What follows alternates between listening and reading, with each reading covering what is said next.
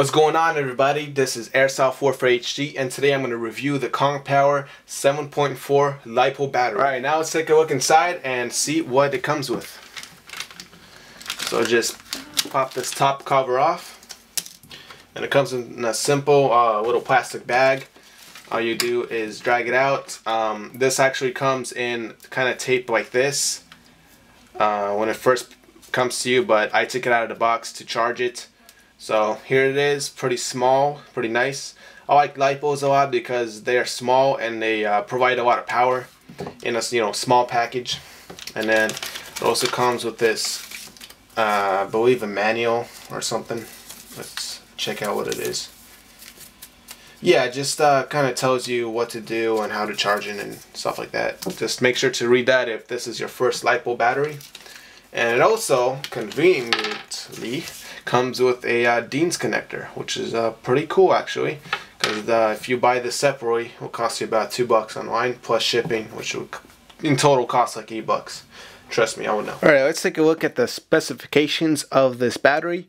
This is 7.4 volt, 900 milliamp battery. All right, guys, before buying a LiPo battery, there's a few things you might want to know about it. Uh, number one is you cannot drain a LiPo battery all the way down to its breaking point, literally. Uh, if you drain it all the way down to when it does not work, it will permanently not work. Uh, what happens to a LiPo when you drain it is it inflates and just does not work anymore. So if you hit your weapon shooting a little slow, take the battery out and recharge it right away because it is to break permanently. So uh, yeah, that's a great tip uh, if you want to, you know, preserve your $30 battery.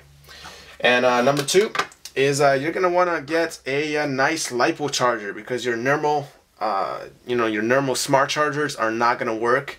Usually, they're not gonna work for a LiPo charger. Uh, mostly LiPo chargers are way different than you know regular smart chargers. So you're gonna want to get a nice Kong Power one like this one costs about 30 something bucks I think. And it will go nice with uh, this kind of LiPo battery you know? And all you do for a 7.4 volts is uh, plug it in just like this and it works. Or if you have a 11.4 volts all you have to do is uh, plug this adapter that comes with the smart charger in and you can charge your 11.1 volt batteries. Uh, for this test, we're going to be using the M4S system by Tokyo Marui, and this Tokyo Marui is upgraded to shoot at 340 FPS. All right, let's do this. We'll put our magazine inside. All right, first we're going to start with semi, and then we're going to go into full auto.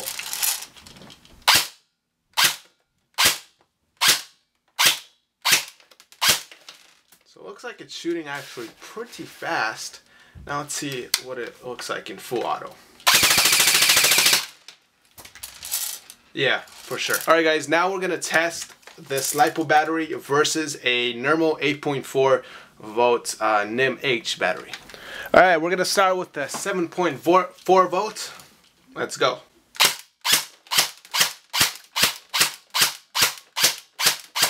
Alright, and now the 8.4.